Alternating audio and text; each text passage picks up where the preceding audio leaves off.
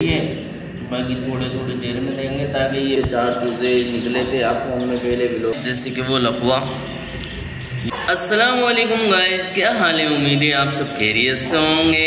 आज के ब्लॉग में फिर से खुश आमदीद। आज हम, हमारा ब्लॉग बनाने का मकसद ये है कि आज हमने अपनी मुर्गियों को और चूज़ों को जो है कीड़े बना के दिए हैं। जो कि हमने इधर डाले थे कीड़े थोड़े तो इन्होंने सारा गंदगी कर दी है यहाँ पे। अभी इसकी सफ़ाई भी करेंगे हम।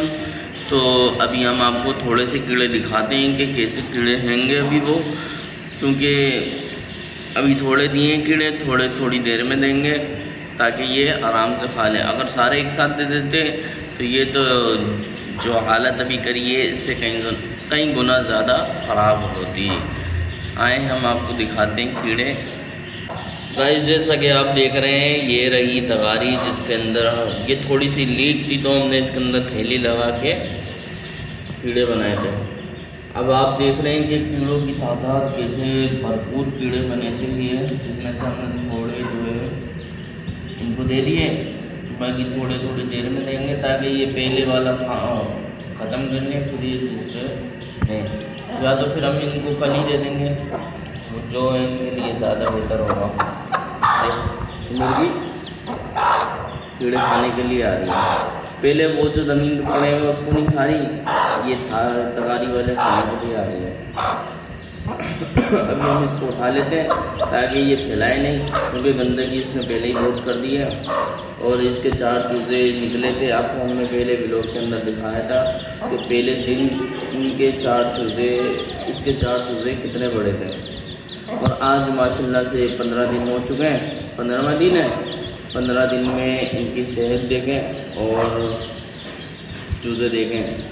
माशाल्लाह, कितने बड़े हो गए। अभी हम एक और चूज़ा दिखाते हैं जिसको लकवा हो गया था। तो हमने उसका इलाज किस तरीके से कराया, वो भी हम आपको बताएँगे और वो चूज़ा भी दिखाते हैं ये रहा गाइस जैसे कि वो लकवा ये पहले भी माशाल्लाह कितना सा था, अब ये माशाल्लाह ये भी काफ़ी बड़ा हो चुका है। इसको लकवा हो गया था कि इसकी गर्दन ऊपर की साइड पे मुड़ी हुई थी ये कुछ खा पी नहीं रहा था सही से, इसकी, इसको लकवा हुआ ऐसे था कि इसको बुखार हो गया था, नज़ला हो रहा था, जिसका हमने इलाज करा, इलाज तो मुकम्मल हो गया था, लेकिन उसके बीमारी जो थी ना, इसको लकवा कर गई थी। तो लकवे का तो ज़्यादा मसला नहीं होता लकवा तो हमने इसका लकवा तो यूँ सही हो जाता है कि लकवा ज़्यादा बड़ा नहीं था, थोड़ा बहुत ही था तो हमने उसका इलाज करा। और वो बताते हैं कि कैसे करा इलाज, क्योंकि लकवा जो होता है ना, खून गाढ़ा होने की वजह से गर्दन की रगें जो होती हैं, जाम हो जाती हैं। अब लहसन के अंदर एक खासियत ये है कि लहसन खून को पतला करता है, खून की रवानगी बढ़ाता है अच्छा करता है खून की रवानगी को, और ये है कि डैमेज रगों को सेट करता है। तो हमने इसको दो दो दिन तक इसको लहसन खिलाया। लहसन खिलाने के बाद छोड़ दिया। इसके दो दिन के बाद इसकी हालत बिल्कुल सेट हो गई कि अब ये कैसा बेहतरीन किस्म का हो गया है कि इसका लगवा ख़त्म हो गया।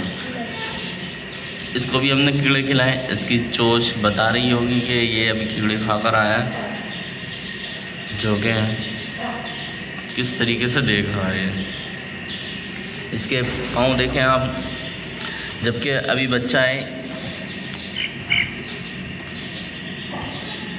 बच्चा है वाइट पाँव है वाइट चोच है। अभी इसकी आँखें आई नहीं हैं तो आँखें भी वाइट ही आएँगी इसकी, क्योंकि जिस नरमादा से निकला है ना, वो भी वाइट ही था।